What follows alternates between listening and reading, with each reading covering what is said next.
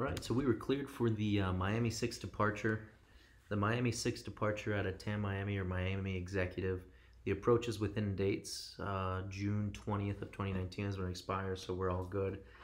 Um, there on the top right hand corner, depending on how you're seeing the chart, but you'll see the ATIS frequency, ground control, tower, any frequencies that you're going to need for departure.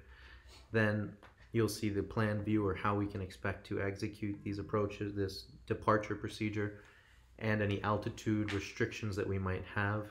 Now, if you continue reading on there on the bottom part of the chart, you'll see notes saying radars required, DME required, turboprop, uh, operate in a manner that will result in best forward speed and climb rate, and that file DP and remarks section of the flight plan. So all of those notes you want to be careful for. There may be some restrictions there for prop airplanes or maybe noise abatement procedures, anything like that. Now if you continue to the right there, you'll see the takeoff minimums, runway 9 left, 9 right, 1 3, 2 7 left, 2 7 right, and 3 1 all have standard takeoff minimums. Um, now any special instructions will be next to that. You'll see it in that special instructions area there on the bottom right. It'll say, unless otherwise assigned, use the departure frequency depicted associated with the transition in your clearance. So basically just saying do what it says on the chart.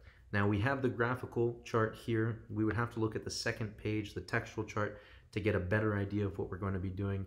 So if we're going to take off 9 right, we would look at the second page and show there that a takeoff runway 9 right is climb on a heading of 0, 9, or 3 to 900 feet before turning right thence. And it gives you an ellipsis there three dots.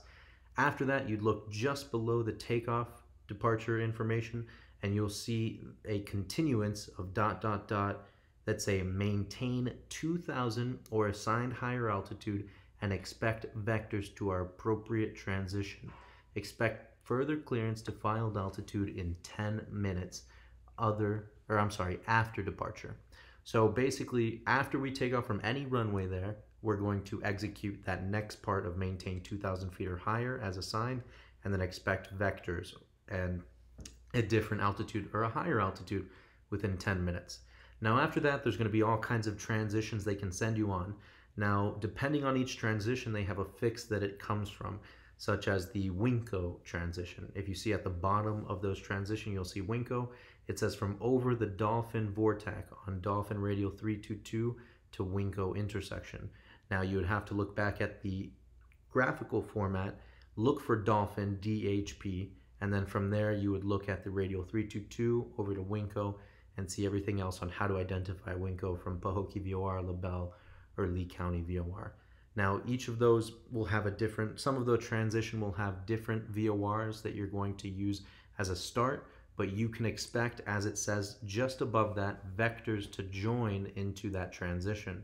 So basically you would tune in your VOR into Dolphin or Fort Lauderdale or Virginia Key, put in the radial, and once that needle centers, fly that radial outbound until you get to your fix. Or if you have a GPS, even easier, fly that heading, intercept the course, and then fly outbound on that course to your fix. Now, after that, it's always nice to talk about your runway and everything, but that would be on the airport diagram. So that would be the Miami 6 departure out of Tamiami.